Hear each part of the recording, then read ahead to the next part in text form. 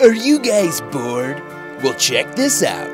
Vsauce Fake Games presents Facebook, the game. Would you guys like something like that?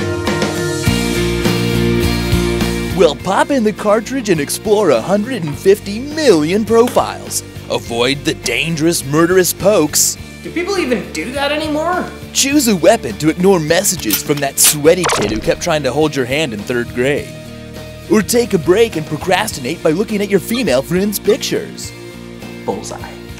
Earn feats of strength in the dungeon levels. Ignore your mother's friend request and beat the clock untagging yourself from photos that make you look fat. Oh, how the H do I get out of here? You'll have to morph into the only thing that can escape Facebook. Private personal data. Nice problem solving. Collect power ups to earn the maximum of 5,000 friends and avoid the spinning death blades of unneeded event invites. Come on, I don't even live in Kansas anymore. Oh, see, I messed up. Now where are we? Oh no. I think we're stuck in Friendster. Wait, even worse. We're in MySpace! No! Ah!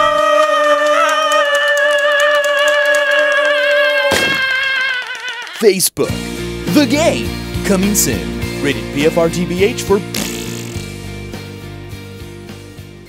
Hey, Vsauce, thank you so much for watching this week's Fake game trailer. I hadn't done one in a while, and yesterday I had the idea to do a Facebook game. So I threw this together in the last day with my friend Todd Womack. He was the other guy who was playing, so big thanks to him. If you guys still haven't seen the first fake game trailer I made for the Justin Bieber game, click here to watch it. And as always, if you have any ideas for games that you're sure will never get made but still want to see a trailer for, leave them in the comments below. And if I like one a lot, I might make it next week. And thank you so much for watching, and stay tuned Friday for a special edition of Nerd Wars. Alright, see you guys later. Bye-bye.